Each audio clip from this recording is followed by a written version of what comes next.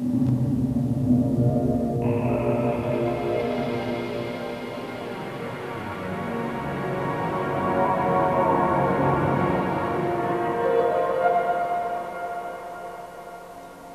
watching the Open University on BBC Two. Later this morning, the series on the Enlightenment examines the complex associations made between women and nature in art and science during the 18th century. That's in Nature Displayed at 11.50. First, there's Science Now, as the Open University takes quantum leaps into the atom.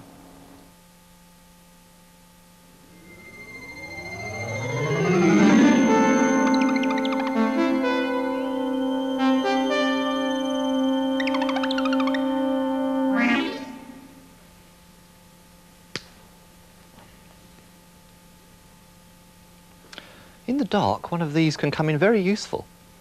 It gives off light, but virtually no heat. Photons of visible light from atoms have energies of a few electron volts, a tiny amount of energy by everyday standards. On the other hand, nuclear processes have an energy scale of a few million electron volts. Why is there such a huge difference between atomic and nuclear energies? That's one problem, but things become even more puzzling when we look more closely at the radiation that atoms and nuclei emit.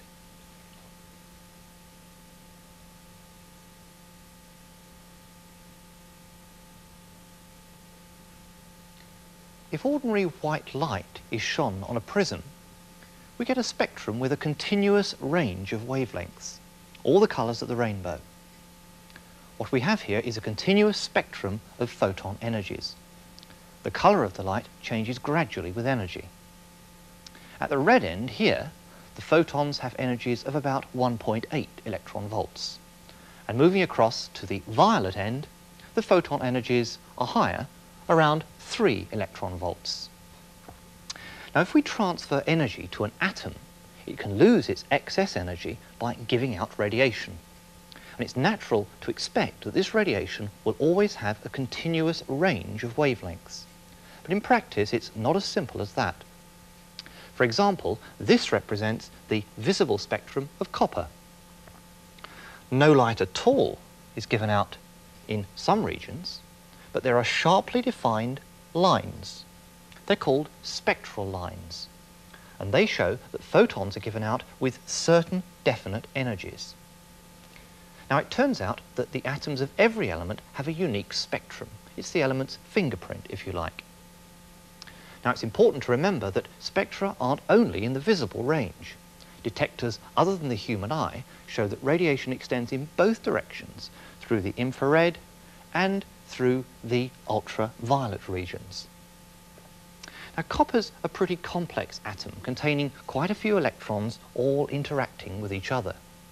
We might expect that a simpler spectrum would occur for hydrogen, which after all has only a single electron. It turns out that, in fact, hydrogen has four spectral lines in the visible range. And the energies of these lines are a few electron volts. And that sets the scale for all atomic processes.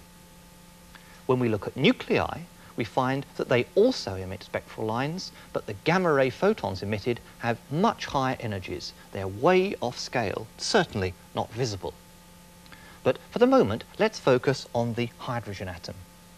Why are these energies in the electron volt energy range? And why do these photons have definite values of energy? Well, let's see if I can't find an answer to these questions. If we approach an atom, then all we see is a fuzzy ball, a cloud of electrons surrounding a central nucleus somewhere down in the middle there. And it's these electrons out here that are responsible for emitting the photons of the atomic spectrum. And then it's the neutrons and protons inside the nucleus which are responsible for giving out the invisible gamma rays of the nuclear spectrum. So the question is, why do these spectra have photons of only certain allowed energies? Now I can answer that if I'm allowed to make an assumption, a big assumption. I want to assume that the electrons and the neutrons and protons exist with only certain allowed energies. Here I'm specifying just four of the allowed energies for the electron in a hydrogen atom. It can take on any of these values, but it is not allowed to take on anything intermediate. If it wants to change its energy, it must go in one instantaneous quantum leap from one allowed level to the other. And the energy difference between the levels appears as the energy of the emitted photon. The bigger the quantum leap, then the greater is to be the energy of the photon. Now, because there are only certain allowed values for the initial and final energies, there will only be certain permitted values for the energy difference, and so for the emitted photons. And because we know that the energies of the photons emitted by atomic hydrogen are just a few electron volts, then I need these spacings also to be separated by just a few electron volts. As for the nucleus, the nucleus of a more complicated atom than hydrogen, uh, one with uh, several neutrons and protons, I'm going to also have to assume that these neutrons and protons also only have certain energy values. But now the separation of those levels is going to be millions of electron volts. And that's necessary if I'm going to have the emitted photons as gamma rays. So that then is the bare bones of my explanation of the discrete nature of the atomic and nuclear spectrum. But of course, uh, as it stands, it's not much of an explanation. After all, everything hinges on these particles having only certain energy values in the first place. And why on earth should that be so? To make further progress, I need to know more about the behavior of these particles, and particularly about how that behavior depends on energy. That tube produces a beam of free electrons, which are aimed at a target of carbon, and this is the diffraction pattern produced. The more the electrons are accelerated, the higher their energy becomes, and so the smaller the diffraction pattern becomes. If we decrease the energy, the size of the pattern increases. We can only understand this pattern if the electron behaves as a travelling wave. The wave, of course, has a wavelength. It's called the de Broglie wavelength, lambda dB. The wavelength of free electrons can be changed continuously. As the electrons accelerate, their energy increases, their de Broglie wavelength gets shorter, and the pattern shrinks. Just like light waves, electron waves can be focused to produce magnified images. This is an image of an aphid taking in the sap from a leaf, and it was taken with an electron microscope. And this is the head of an ant. This is far better resolution than we could ever achieve with an ordinary optical microscope, because the electron's wavelength is much less than the wavelength of light. The electrons are a much finer probe. The wave associated with a free electron, like one in an electron microscope, is rather like this. And I can adjust the wavelength pretty well how I like.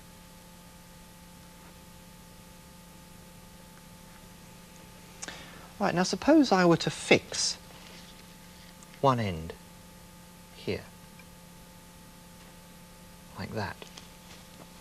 What do you think will happen now?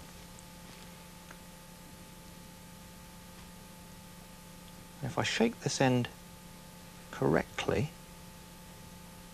I can set up a standing wave. There we are. There are a definite number of half wavelengths between the ends.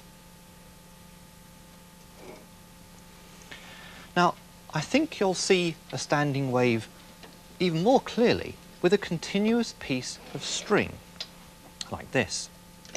It's fixed at both ends, and one end is being shaken at just the right frequency to set up four half wavelengths between the ends. And there's three points like this where the string is not moving at all. Now if we turn the frequency down, get it just right, there we are, there's three half wavelengths between the ends and now only two points are stationary. Down again, two half wavelengths between the ends, and now the middle is stationary. And again. Right, well, this is the lowest frequency standing wave on this particular piece of string. There's one half wavelength between the ends. The key idea here is that every standing wave has a whole number of half wavelengths between its ends. So what's all this got to do with electrons? Remember, a free electron is associated with a travelling wave. It's natural to expect standing waves to be associated with an electron that's confined. Imagine an electron or any other particle moving around between these two parallel plates. The particle's confined so that it can't escape. Let's go down between the plates and try to visualize the waves describing the particle. Each wave associated with the confined particle is a standing wave, like this one. Each standing wave has a whole number of half wavelengths between the boundaries. There's three in this case here. The number of half wavelengths is called the wave's quantum number. So the quantum number of this particular standing wave is 3. Now, because there are only certain definite numbers of half wavelengths between the ends, it's not surprising that the confined particle can only have certain definite values of energy, energy levels. Each energy level corresponds to a particular standing wave. This one corresponds to the lowest energy level. This one to the energy level above that, and this one to the energy level above that. So what happens when the energy of a particle changes? It makes a transition or a quantum leap to this level. And a photon is emitted with the energy exactly equal to the difference between the higher energy level and the lower one. So that's how an electron behaves when confined between two parallel plates. Is there some way I can use that to help me with my understanding of the hydrogen atom? Well, in a hydrogen atom, we get confinement of a sort. The electron's negative charge is attracted to the positive charge of the nucleus, and that means the electron tends to stay close to the nucleus. It behaves almost as though it were contained in a spherical three-dimensional enclosure. Now, actually, from a mathematical point of view, it would be simpler for me to deal with a cube rather than a hollow sphere. A cube is just three sets of parallel plates, and we've already dealt with an electron between one set of parallel plates. It's a very crude model. After all, atoms are not cube-shaped. But let's see how far I can get with just that. Now, an electron moving in three dimensions will have a wavelength associated with each of the three directions. And if the electron is in a box, then we shall have to fit in a whole number of half wavelengths in each of the directions between the walls of the cube. Now here I've got a wave that's confined in the x direction between those two walls there. I can put in a second wave for the y direction like that. I'll put that in front like that so that it becomes superimposed. That's the situation for two dimensions. And then finally, uh, a wave for the z direction, which is the direction along which you're looking. That goes in there.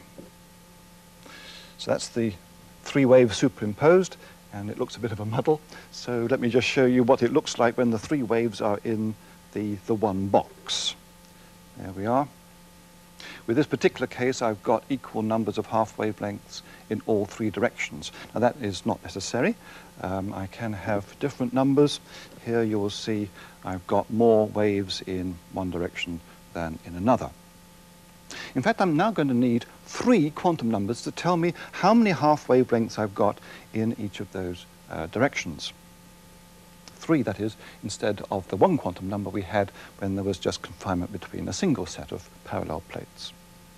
Now, corresponding to each combination of three quantum numbers, the electron in the box will have a certain energy. And the expression for that energy turns out to be this. This part here is, if you like, a basic unit of energy that essentially sets the scale.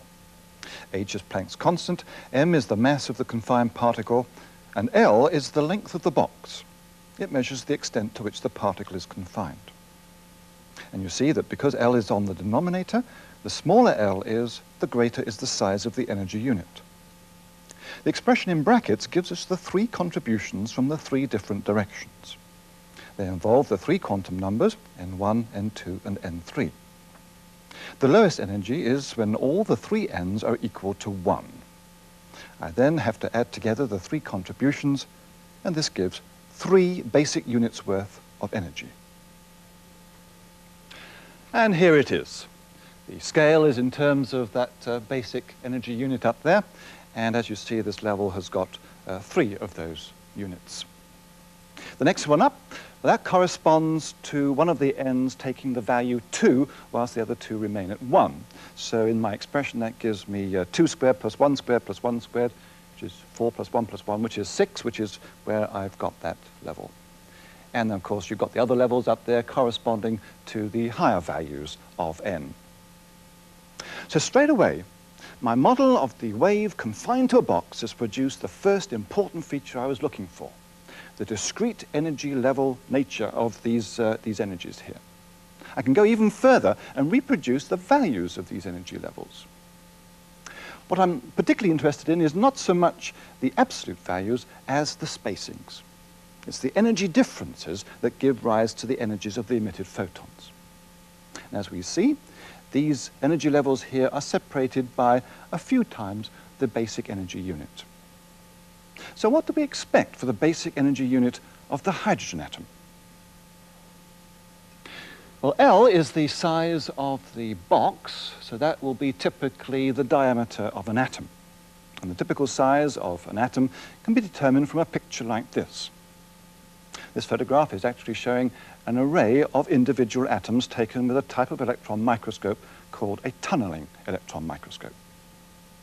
From such a picture, the typical size of an atom has been measured to be 5 times 10 to the minus 10 meters.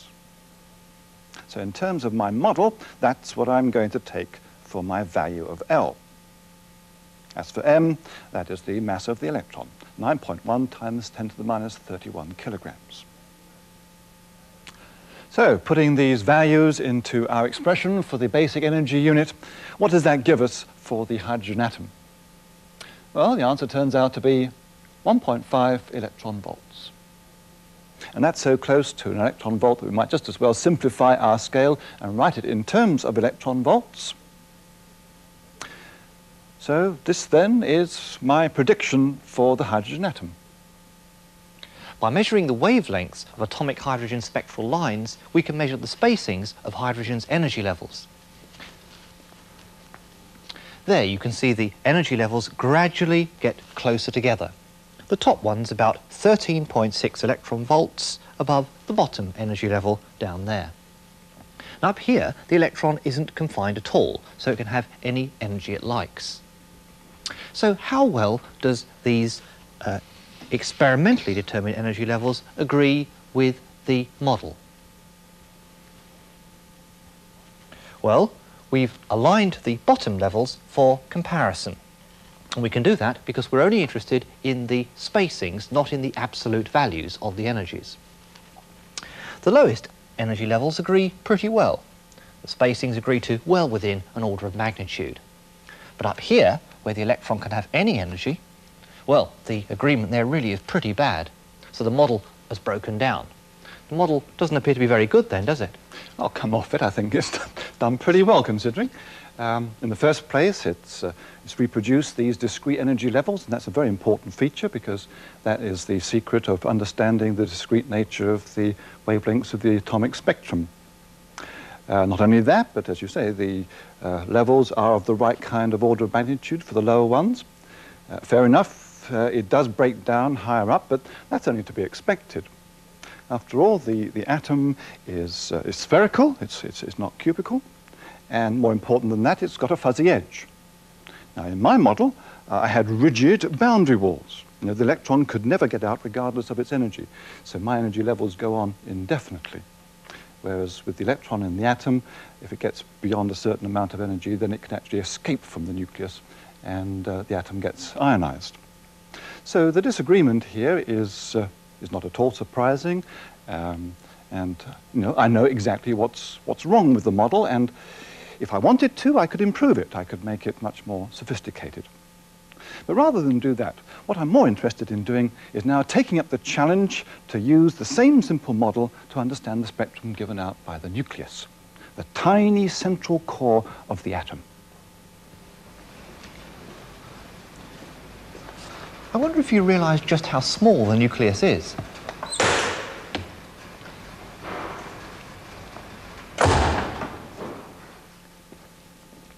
Suppose this empty studio represents the size of an atom. The electrons can be found anywhere in this entire volume. But the nucleus, where most of the mass of the atom is concentrated, that's situated somewhere in the middle. Here it is. Now, on the scale of the studio, the nucleus occupies about as much space, not of that pinhead, it's far too big, but of the very tip of the pin. So most of the atom is just empty space. That's quite a thought, isn't it? Everything around us, you and me, for the most part, we're just empty space. Now, bearing in mind just how small the nucleus is, it really is quite remarkable that we can arrange for two nuclei to collide. And yet nowadays, that's done routinely. In this experiment, the energy levels of magnesium nuclei are being measured by bombarding them with helium nuclei, which are normally called alpha particles. The alpha particles are accelerated by about 17 million volts, bent through 90 degrees by magnets, and then directed towards a thin piece of magnesium film. Experimenters can actually monitor the collisions between the tiny alpha particles and the magnesium nuclei. The stream of helium nuclei pass through the magnesium sample, and in some cases, an alpha particle transfers some of its energy to a magnesium nucleus, which is then excited. A very short time later, the excited nucleus loses its excess energy by emitting a photon. It's by measuring the energies of photons like this that we can measure the spacings of the nuclear energy levels. This peak corresponds to the photons given off in the transition from the second lowest energy level to the lowest level. It has an energy of about 1.8 million electron volts. Fairly typical for the space. The nucleus consists of neutrons and protons. These are confined to a small volume, the volume of the nucleus. I'm now going to apply my box model to this nucleus. Straight away, the confinement of the neutron and proton waves produces discrete energy levels. What of their spacing? This time I have to use the mass of a neutron or proton. That's about 1.7 times 10 to the minus 27 kilograms. As for the value of L, the size of the cube, I know from studies of collisions between nuclei that the size of a nucleus is about 10 to the minus 14 meters. Putting these new values into my expression for the basic energy unit, I get a unit for the nuclear energy scale of the order of millions of electron volts. Exactly what is required. Well, here once again is the atomic energy level diagram for hydrogen uh, measured in electron volts. For the nuclear spectrum, one would find that the, the lower energy levels uh, would be separated by millions of electron volts. And on this scale, that would mean that the energy level diagram would have to break through the confines of the studio and we would go soaring up high above the atmosphere to a height of several thousand uh, kilometers. And this is where we would find the first few levels of the nuclear spectrum. I reckon that my model has been very successful. Modeling atoms and nuclei as waves confined to a box gives discrete energy levels. And the mass of the particle and the size of the confinement gives the right order of magnitude for the spacings. Nor do I need to stop here with a study of the nucleus. I can continue my journey into the heart of matter and inquire what happens inside individual neutrons and protons. And there one discovers constituent particles called quarks. And they're confined within the volume of a neutron or proton. If I apply my box model to them, I find that the quarks have an energy separation which is to be measured in terms of thousands of millions of electron volts. And on this scale, that takes us soaring up far beyond the moon to a height of oh, several million kilometers. So there we have it. The atomic spectrum, the nuclear spectrum, and now the subnuclear spectrum. They're very different from each other in terms of the magnitude of the energy scales. But throughout them all, the underlying physical principles remain the same.